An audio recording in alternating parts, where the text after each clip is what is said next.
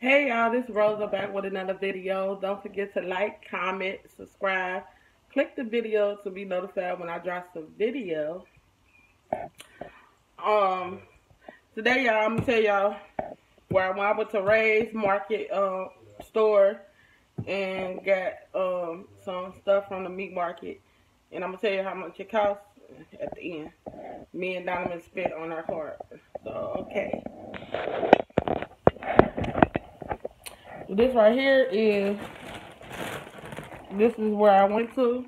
This is the info. They in Bond Hill in Cincinnati, Ohio.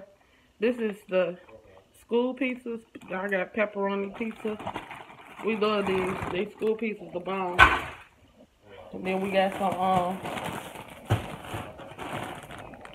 um, um, batter mozzarella cheese sticks. I picked up a big of uh, chicken nuggets. I love that chicken nuggets. Here's another school pizza. This is the turkey and sausage pizza. I got a thing of um, the mixed vegetables in the bag. I got a thing of smoked turkey sausage. That's for me. I don't eat hot. I got a thing of they chocolate chip cookies to make cookies one day.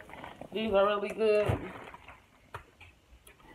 Dominic got the spicy chicken strips. He loves spicy stuff. Then over here, I just got like eight cans of pop. You get eight for five dollars and twenty cents. So they were 65 cents a piece. Here's the other bag of uh, spicy chicken strip. He got uh, three bags, so this is the other one. So this so here's the other school pizza. This pepperoni. Here's the other chicken strip. He he got him three bags, so that's two. Here's the third one. I should have got some uh some potato wedges. I ain't get them. And then here's his hot sausage meat. And that's it for that haul, y'all. I ain't really do too much. I wanted to go in there and get that stuff because we like shopping in there. Um, I spent on my card, I spent fifty-three dollars and twelve cents for all my stuff, and he spent uh, how much you spent, Donna? Seventy-one dollars. He spent seventy-one dollars for all his stuff. So that's it for that, y'all. So $71 for his stuff and $53.12 for all my stuff. So yeah, it wasn't a lot. I mean, it's just soft right now. Until I went to shop shop, I wanted to show y'all what I got from Ray's Market in Ohio.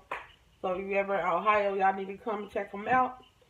And yeah, they got a good variety of stuff over there. So I like shopping with them. So don't forget to like, comment, and subscribe. And thank you for watching. Bye.